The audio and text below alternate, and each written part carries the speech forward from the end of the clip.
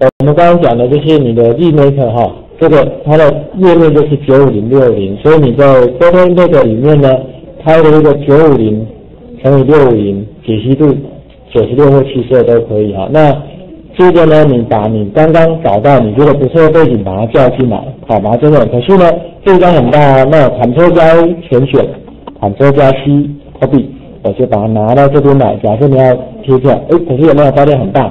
对不对？这时候你可能要缩小一下，缩小的话你可以从这边，啊，这里有个变形的工具哈，变形的，它预设会锁住等比例，那你可以这样子慢慢的做，这是一种方法，也可以直接从上面直接改，好，直接改，比如说我改成八百，那另外一边它会自动改，它会自动改，你就找看看，哎，你觉得大概要多大，你会比较适合的，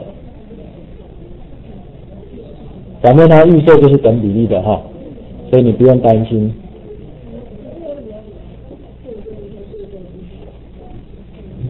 我把它变百分之五十哈，这样你再看比较容易看，好，怎么样？好，这样就好了，这样就有一个了。那现在呢，就是你，你如果说你要做一半的，因为我们电子书现在是总面是九五零，一半大概就是多少？四百七十五，对不对？九五零乘以除以二嘛，哈。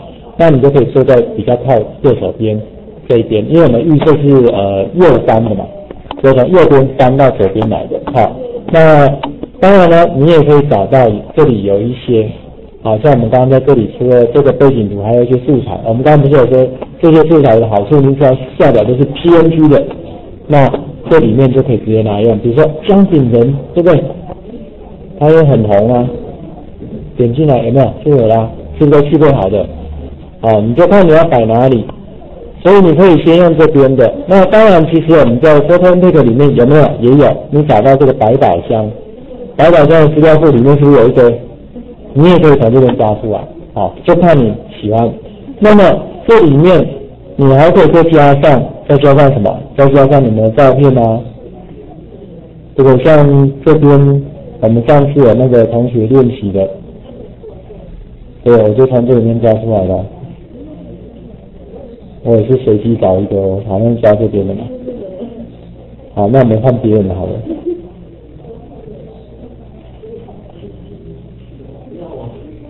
这两位可以吧？借用一下，对不对？没有关系。好，那你们要选，把它选出来。你用这个工具，你也可以试看看，这个叫贝兹取选取工具哈。你看，我们现在来这边用这个有没有选取这个形状，就是在这里。你有两种方法，比较精准的，以前我没有教过，是不是在这里有一个叫截取物件？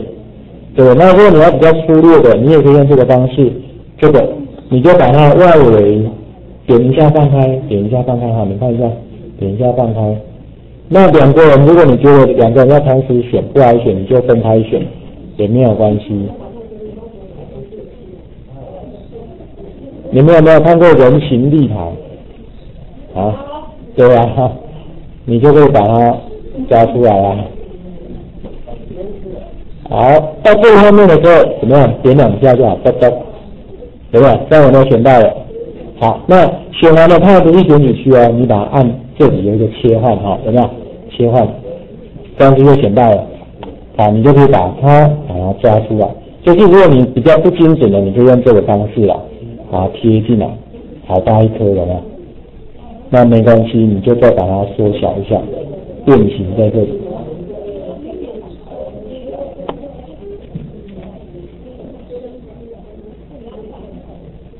就看你啊，但是不要这样。因为这样会曝光，对不对？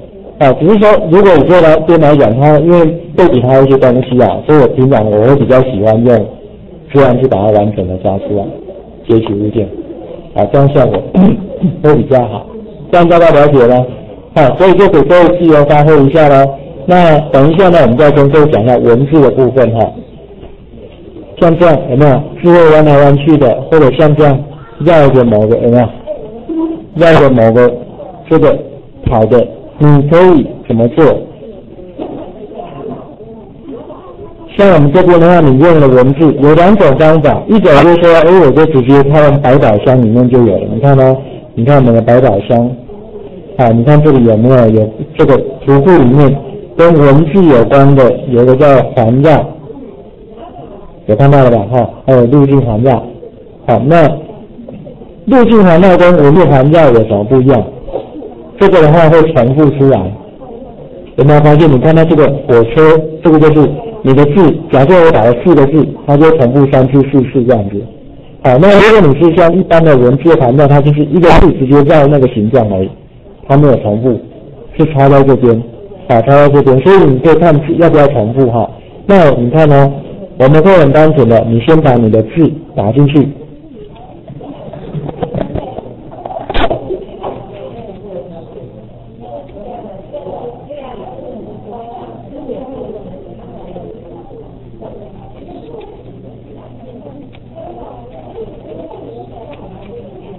好，我把字打进去之后呢，我先确认一下，好，OK 的。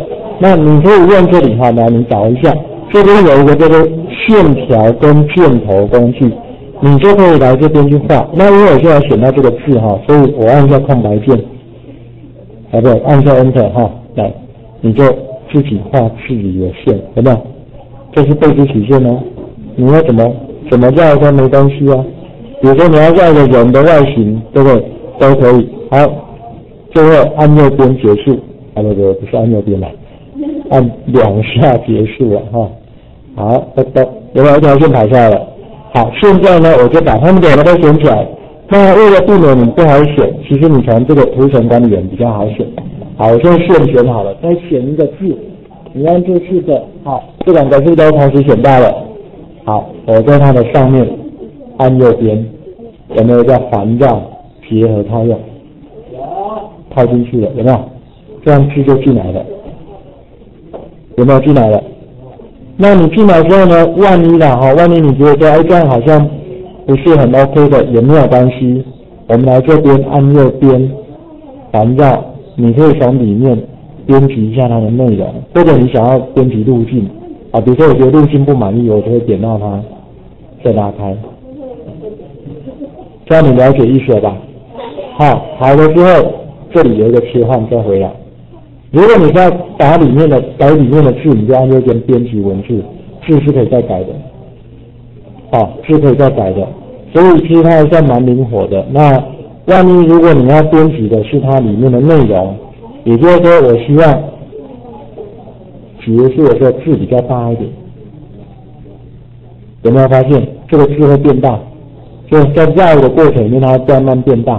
好，开始跟结束这边你可以设定，好，所以这个是它里面呃，我们之前没有特别跟各位讲过的，所以如果说万一你的刚好有需可以用到的，你可以把它放进去试看看哈。